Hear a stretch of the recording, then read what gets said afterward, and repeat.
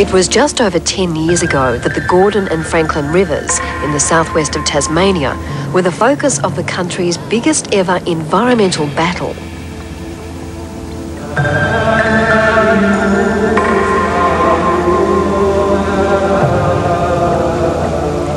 It was the Greenies versus the power workers, the state government versus federal, a fight that culminated in the Franklin River blockade.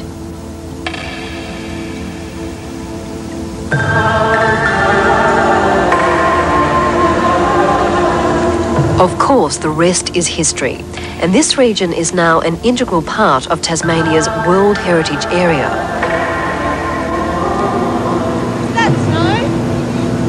Like Dixie K. Hall and Oliver Sandry, more and more tourists are coming here to find out for themselves what all the fuss was about. So,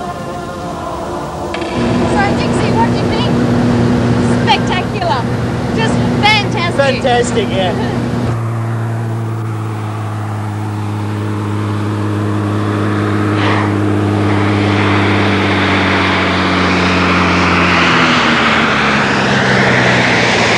And what a way to do it by seaplane from the township of Strahan to the lower reaches of the Gordon River. The view from the seaplane gives us a good idea of just how spectacular this part of Tasmania really is.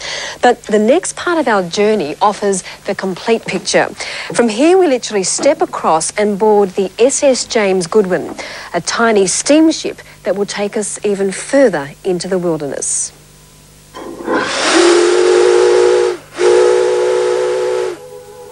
It would have to be one of the most beautiful rivers in the country, if not in the world.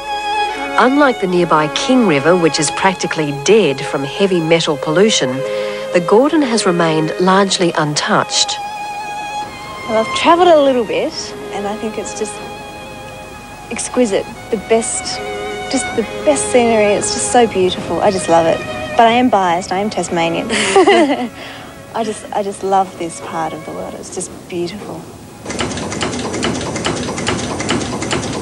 If you've got any sort of affection for boats, then you'll love this one. The steamship looks a little like it might have come straight from Toy Town. It has a fuel consumption of 13 kilometres to the wheelbarrow of wood, and it's very much the real thing. This is Live Steam.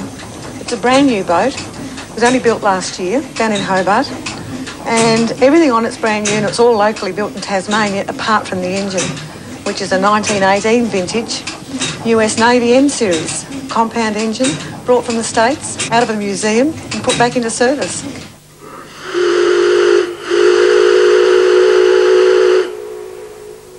The Air and Steam trip is part of the one operation and costs $98 for the two and a half hour journey. And unlike other cruises on the river, you don't have to share the experience with hordes of other people. This boat takes a maximum of only five passengers.